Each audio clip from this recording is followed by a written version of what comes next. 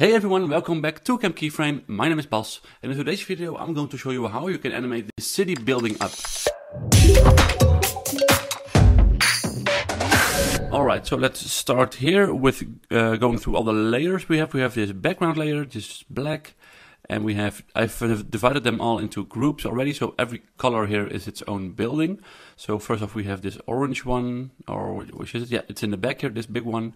Uh, so everything is here is um, divided into separate layers. Every most of the windows are separate layers. In this case, they aren't, but in this case, uh, you know, this this is separate, this is separate, this is separate. All of them have separate uh, layers. You can go all the way and actually make these four separate as well, but then it takes uh, even longer.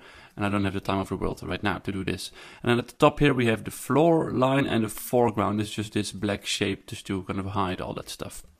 So what I'm going to do is to animate this line here first. Let's just um, lock the foreground layer and go to the floor line and open this up and add a trim path effect. So it's gonna grows out. So I'm gonna start here at let's say one second. I'm gonna get a keyframe for start and end, and I'm gonna go back and then put them both at 50. So now this line, let me just solo this these three outs, we only see those, kind of grows out from the middle like that. So give that some easing. I'm using Flow for that, this plugin, which makes it a lot quicker, like that. So that's a nice opening there. Let's cut the layer off right there. So this is kind of our base level. Cool, I'm going to uh, lock that. And then let's start with our first layer, our first building. I'm going to select all the orange ones and then just uh, solo them as well so I see that as well. This one is um, orange, but I don't think it needs to be orange because I think these ones. No, I don't know. This one doesn't belong here. Just turn it off right now. Maybe I did it, uh, did a color coding a bit wrong. So we have these layers. We have this pink shape, this white, and then this kind of goldish um, uh, roof, and then we have all of these windows. So first off, I'm going to parent all of the windows to this layer. So that's layer number 63. All right, um, parent them to this one. So this now controls that whole thing. And we're going to, let's see what we're going to do. We're going to give this a position keyframe and this one as well. And maybe parent some stuff together. Yes, because I want everything kind of to grow in from the bottom, kind of to the, the city to grow onto the screen. And because this is um, uh, building in the background, maybe we could do it a little bit easier and quicker because it's just a little bit less noticeable. I'm going to put our um, emphasis on the front buildings in front. So I'm going to uh, give this a position and let's see. Yeah, just give it a little bit of a twist. So um, this one, we're going to um, open this up. Contents, group one, and then the path. And we're going to animate the path here. Click, and then turn that. Let's just put it over there and then uh, create a new keyframe for the path here. So we have two keyframes and this one I'm going to go for P for position and turn it over there, place it over there. And then we're going to parent the this uh, layer 64, so the side here, to that 63. And then the little roof, we're going to parent that to layer number 63 as well. So now this layer controls everything. So I'm going to place that down all the way down here so it's off screen. And then give this some easing kind of make it pop up into the screen like this. Yeah that's nice so it pops up. And while this is doing it I want these windows to also get a little a little bit of movement up so get the a position keyframe. Turn it over there and then just place them down a bit. And then I'm going to uh, so, oops, select all of them and then give them some easing as well. Cut the layer off right there. And then just put all of them one frame after each other. Yeah, and then retime that. So I'm to put it right over here. So we get a little nice, nice little extra movement there. And then we're going to give this, uh, animate this one, um, close it up. This has a press U on the keyboard to open all your keyframes. And we're going to zoom in here. And if this, I want this kind of to give this a 3D turn effect, turn, turn effectish, turn something. And so I'm going to um, animate the um, I'm going to put this keyframe over there, and we're going to take this and this and this. Oops! Oh, oh, oh! I lost it. Uh, uh, these three, holding Shift, yeah. I'm gonna zoom in, and I want these to kind of go in here, and then deselect this one, and then make them go in a little bit more like that. Yeah, and then for the roof, we're going to do the same here. So open this up, contents, group one, path one, uh, and then place that over there. And then here, I'm going to yeah select these two, of drag that over here. Nice, and then give them the same easing. So now we can see that this kind of grows out here, which looks really cool. So we're going to open this up, press U to see where the keyframe is over there.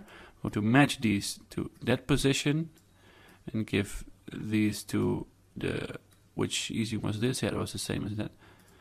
Alright, so now they're all eased in the same way. So now you get this little bit of a 3D effect. Maybe I can try to put this a little bit later.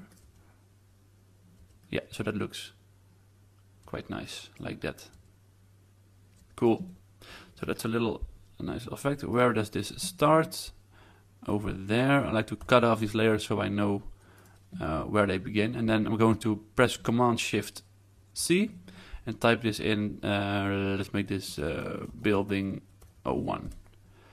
All right click on that. So now this one is done, finished and done. So we're going uh, un uh, isolate that and lock it and then go on with the next one. And I think I've isolated that extra layer that we put in there. Yeah, okay, we'll see about that later. Um, then we do we're gonna do these buildings. So let's just turn them off and let's see. Let's do some cooler ones first.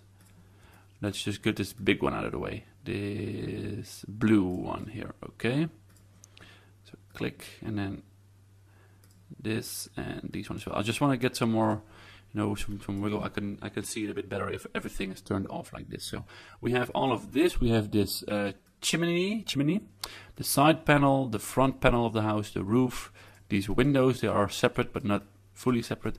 And we have this and this and this, all of the same kind of uh, idea here as, the first building. So um, let's just do the same thing here. We're also going to make this uh, the, the, same kind of a 3D effect, but in this case it's a bit um, more noticeable because it's a really it's a way bigger building. So we're going to parent uh, these to this shape. This is uh, layer 41. So let's select these two and parent them to layer 41. So this now controls those. Let's parent the windows to that one as well. And the chimney, let's do that as well. Yeah, I think we can do that. Yeah, let's parent everything to layer number 41. And then this one we're going to do, yeah, the same thing actually. We're going to parent all of this. Let's just parent everything to layer 41. So we can control, we can change it up later. So here we're going to do the same thing, position, and go back a little bit. Turn this down all the way. Give this some easing so that kind of pops up. Nice, that looks good. All right, and then these windows, we're gonna do the same thing here. Position. And we're gonna animate those from down here. Cut the layer off. Maybe a little bit later.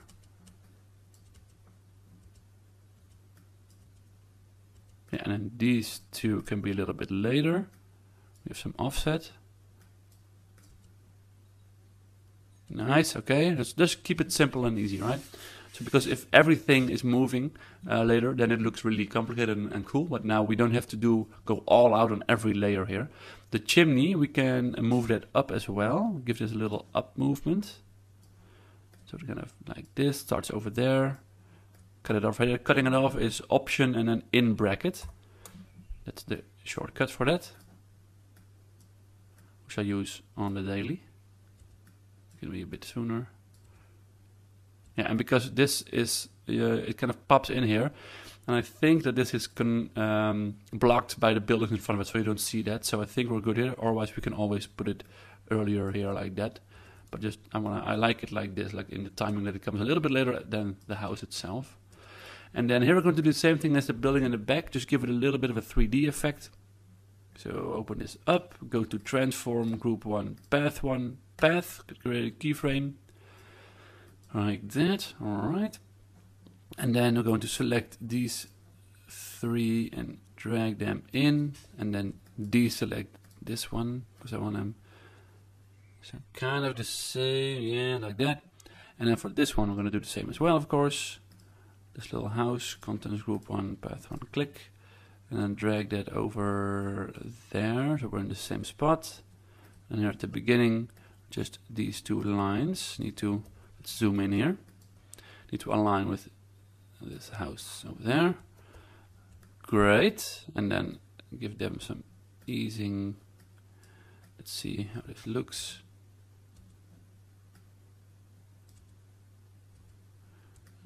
Nice, alright, so let's time that here. I think we can do this a little earlier. Oh, oh, oh. That went wrong. So let's see how we can animate this one. We can kind of do the same thing here.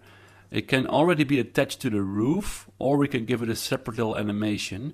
Uh, first off, we do need to get this kind of uh, the the, the um, the angle right because now it looks it, it looks really disconnected. So let's just do that first, and we can, maybe it can just easily pop up. We don't have to go all out on this. Um, which are these two? There you go. Contents group one path. Contents group one path. All right, and then let's check where this keyframe ended right there. So let's put those at that point. And then where it started was here the first keyframe for those two. So now we're just going to select this and kind of trying to align match this vertical uh, or this this shape here. Can drag it over and check if it if it's or it's perfect. Okay. Wow I'm a genius. So in these two um, drag those in here. Oh, that's a bit too much. Nice. Okay, and then give this that easing as well. So now it should look okay. Yep, all right. And then um, we're going to just press U to close everything up. I'm going to parent this whole thing, so parent this roof and this window to this pink shape. I think it's this one. Yeah. So this now controls the, all of those. So I'm going to give this some little position. So I give this a position and it needs to end. Uh, I think it can end a bit more in the middle here, which I like. Now, oh, at this stage here. So when the when the house is fully built, turn a bit to the right even and then when it's over there let's turn it to the left. Maybe that's cool I don't know we'll see.